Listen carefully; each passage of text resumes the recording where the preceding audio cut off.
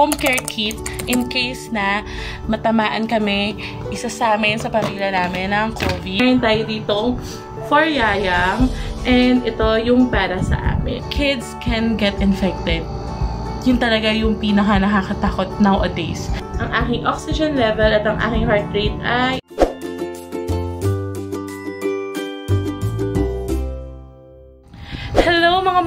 and welcome back for another video. This is Mommy Ju of the Lego Fam at kung bago ka sa aming channel at ngayon mo pa lang ako nakita ang pagmumukhang ito, ay click mo na yung subscribe button down below para maging updated ka pa sa aming mga future videos dahil gumagawa pala ako ng mga mommy tips, tipid tips. Also, si Daddy kang gumagawa rin ng mga DIY project videos. Nagluluto din ako paminsan. I'm sharing recipes for kids.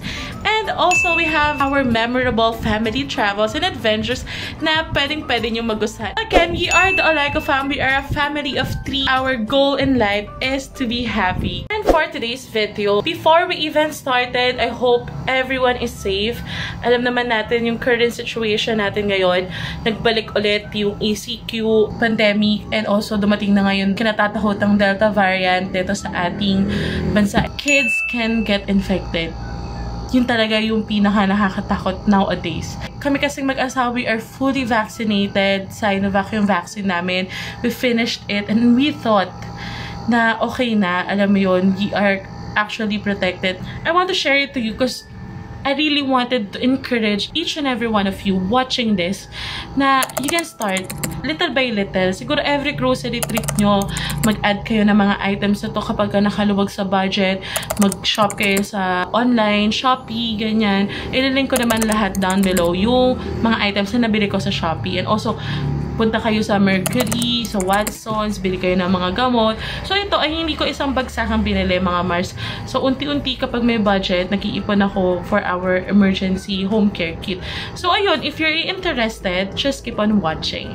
So, pakita ko muna sa inyo kung saan namin nilalagay itong aming emergency COVID-19 home care kit. Is, nakalagay siya dito yan, sa pinakadulo ng aming cabinet. So, makikita nyo dito, talaga meron ako dyang emergency. Pagka nag, meron nagkasugat sa amin, nagkaroon ng infection, uh, ayan, meron tayo dyan. Home care kit in case na matamaan kami, isa sa amin, sa pamilya namin ng COVID. So, ito yung mamaya, ipapakita ko sa inyo isa-isa. And also, itong nebulizer. So, I'll explain kung bakit ito yung aming home care kit. And, umupo na tayo sa upuan, ha? Okay dito tayo mag-film. Katulad nga na sinabi ko kanina, I really wanted to share to you kung gaano ka-importante na meron tayo COVID-19 home care kit. So, we have couple of reasons bakit nag-ready kami nito. Ayan, we have here mga medicines and also tong uh, nebulizer. And if you really wanted to take care of your family then in case na mangyari yung mga unforeseeable events sa buhay natin katulad nitong Delta variant COVID-19, I hope that you watch the video up until the end because I wanna tell you my thoughts. Also, yung mga future videos, nakadikit pa ng videos na ito. Disclaimer lang pala mga Mars, I am not a medical expert. I am not a doctor. I am not a nurse. I am not a physician. I'm just a mother that is uh, taking care of her family. Mga information na ito is nakuha ko lang din sa mga videos ni Doc Willie Ong. If gusto niyo pa ng further explanation more on the medical level, pa-flash ka sa screen. Yan yung video ni Doc Willie Ong na sobrang naging helpful sa akin to prepare my family in case someone gets infected ng COVID-19. Ayun, I, I do a lot of research din naman sa web, what we can have at home na makakatulong sa amin to treat our symptoms. And this is for the whole family pala. Start na tayo. Nebulizer. So, ang tatak pala nito is eye care compressor nebulizer inhalator. So, i-flash ko dyan sa screen. Ayan, yung item sa Shopee. Sa Shopee ko lang ito nabili, mga Mars. And, ililink ko rin down below. Huwag kayong mag-alala. Ililink ko down below kung saang store ko nabili to. And, hindi pa namin to syempre nagagamit. 2 years warranty siya.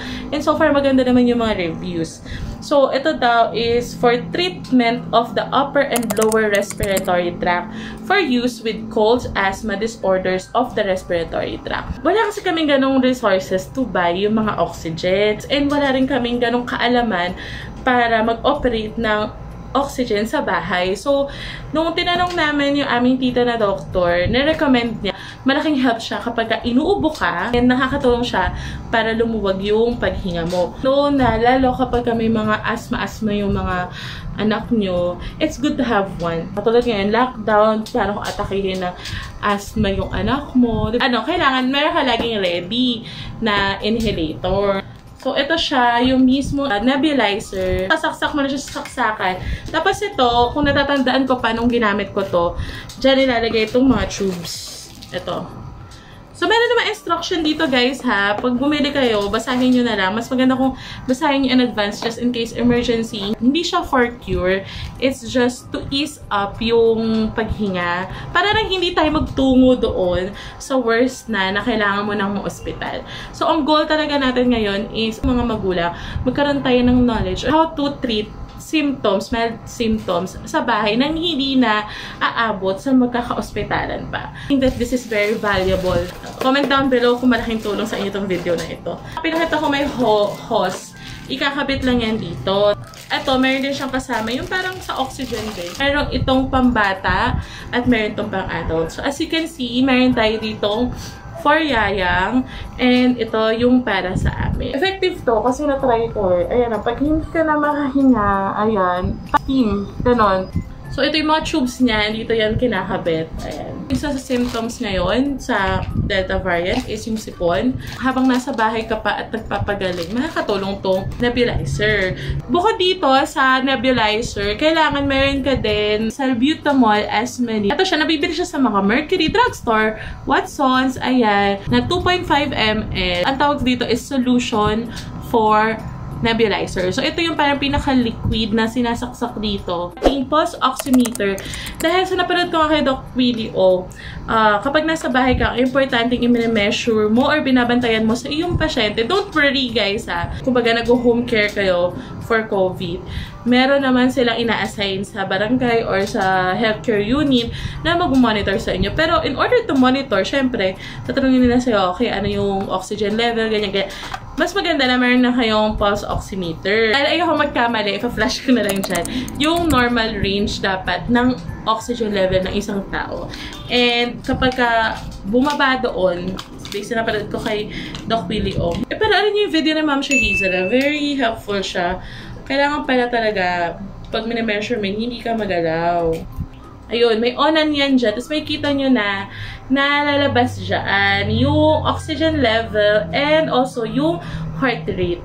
Kailangan resting and hindi galing sa takbo or paglakad yung kukunan nyo ng oxygen level. Pero most likely, nakahiga lang yung pasyente nyo or yung family member nyo o ikaw. Nalagay mo lang dyan yung, yung finger and then on mo yan. So, nabasa na niya. 98 ang aking oxygen level at ang aking heart rate ay 87. So, that's pretty much normal. Yun nga nasabi ko, if I'm not mistaken, 94 and below, delikado na. I-alert ng inyong medical doctors and contacts sa barangay kapag bumaba na sa 94, bababa. So, ayun. So far, ideal ito, 98 na oxygen level. Ano lang to guys, ah, ililink ko down below and flash ko dyan sa screen yung item sa Shopee. And uh, para ma-check out nyo rin, mura lang yung bili ko dito. So, marami nang available na murang oximeter. Pero helpful to sa amin just in case na parehas kami ni Daddy na, alam mo yun, magkaroon ng symptoms wala nang kailangan lumabas sa Mercury or pumunta sa Watsons para maghagilap ng oximeter kasi meron na kami sodium ascorbate with zinc. Immunopro. Alam ko na marami nag-recommend nito Immunopro. Ganda mag-stock na kayo nito kasi mabilis ito maubos sa Mercury and Watsons. And if things, you know, go bad, March 2023 pa naman yung expiration niya. So, okay na okay pa siyang i-stock. Mga symptoms ng COVID is lagnat, uh, ubo, sipon. So, technically, gusto natin magkaroon ng mga medicines, over-the-counter medicines for that kind of symptoms. So, unahin ko muna yung kay Yayang. So, sobrang importante nito. Siyempre, unahin ko yung anak ko, ba diba? Paracetamol Tempra, ayan, ito talaga yung gamit namin kahit yung bata pa si Yayang. Although, minsan lang naman siya magkasakit talaga. Very, very rare. Siguro mga isa dalawang pagkakataon pa lang. Paracetamol Tempra, strawberry flavor na to. No shake formula na siya. Ito yung pinaka nag-workout kay Yayang. Okay yung lasa niya, niya, may isang siya na try, orange flavor. Medyo, nasu sinusuka niya talaga yan. Pero ito, tolerable sa kanya. So, makikita niyo dyan yung dose. Expiration niya is 2022 pa. So, it's not bad na mag-stock kayo ng paracetamol tempra for your kids. Dahil you'll never know, di ba? 1 to 5 years old. So, sakto-sakto sa expiration, pwede-pwede pa to kayaya. Sabi ko sa inyo, hindi ko na to nagamit. Ito, 2022 pa to, mga Mars. Next year pa, luma na namin to. So, sabi ko sa inyo, nag-stock talaga ako ever since ng paracetamol tempra. Ayoko nang pupunta pa ako ng Mercury or drugstore para lang bumili. Habang, habang nilalagnan ng anak ko. Gusto ko, pag nilagnat, meron ako. Ito, same 2022. Pero hindi ko pa yung tatapon dahil in case na meron may mga ilangan, in case of emergency, alam mo yun, 0 to 12, may issue na, mabibigay ito. Uh, Dysodrine, di ba may price pa? 113 guys sa Mercury. Tapos, yun nga sa mga hindi makakalabas, ililink ko na lang down below sa description box in case na makakita na available siya sa Watsons. So, Dysodrine, importante rin to for kids. Although, hindi na masyado laging pinag-take si Yayang ng nasal decongestant just in case lang, 'di ba? We're not we're not attracting it. Pero I I hope that I am ready. Kahit simple sipon, kahit hindi COVID ano, sipon na hindi siya makahinga na, ayun. Gusto ko may ready na ako nasal decongestant. May antihistamine na rin to allergy. So, Dysodrine ito. And 2022 pa, next year pa, ang kanyang expiration date. And yung stock namin for ubo ni Yayang, Ascoff, Lagundi Leaf. Ayan, bibili pa ako isa nito. Or baka try ko yung tempra na pang cough and tempra na pang sipon. Ayun. So, eh, pero ito is yung Lagundi Leaf Ascoff for kids just in case na magkaroon siya ng ubo-ubo, which is never pa naman nangyari sa kanya. Yun. Ang expiration nito is this year. End of this year. So, kailangan ko palang mag-stock nito. So, yung tempra na Cool Touch Ayan, just in case nga nalagnatin siya, meron lagi akong stock na ganito. Kahit nung bata pa siya, lagi akong may stock. Mahirap lagyan pa minsan kapag natutulog na siya, iniiwanan ko siya nito. Or mahirap kasi natatanggal-tanggal yung bimpo. I think that's it para kay Yayang. Punta naman tayo sa mga emergency meds namin ni Daddy Ken. Napaka-effective sa akin. Nagkaroon kasi ako one time dati na sobrang nalang ubo. Ito lang talaga yung nag-workout nung kapag pagaling sa ubo ko itong Lagundi Leaf Ascoff Forte. So, 5-day cough relief pa. Ito para sa amin ni Daddy Kim. Ito, Decogen Forte, just in case magkaroon ng sipon, ganyan. Kami ni Daddy. Nagagamit na namin yan, of course. Kailangan ko na mag-refill. Isang symptoms din, diarrhea, loperamide, Imodium. Kailangan ko na talaga mag-refill. So, syempre, para sa etomol, para sa lagnat, ayan. And, ayun. Uh, all in all, this simple step, hindi naman, it will not cost you much. Lalo na, pag unti-unti mo siyang binili.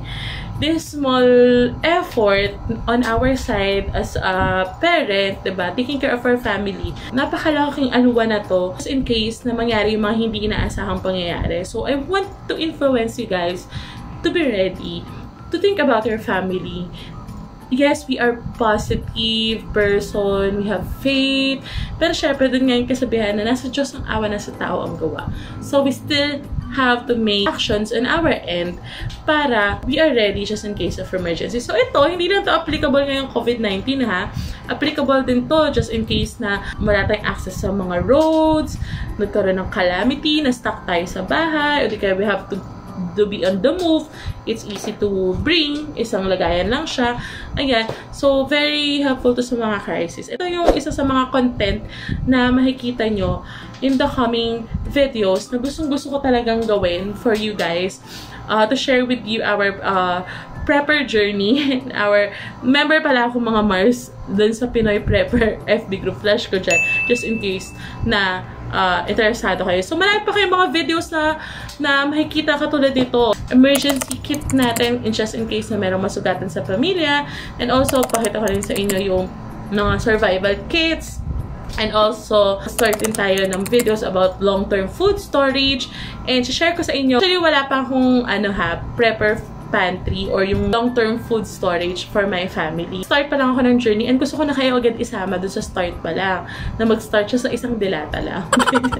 So, ayun. share ko sa inyo yan sa mga upcoming videos and I hope that you subscribe dahil I know at alam ko rin na alam mo rin na importante to. Ito yung mga dapat natin panoorin these days lalo na we have a family that depends on us.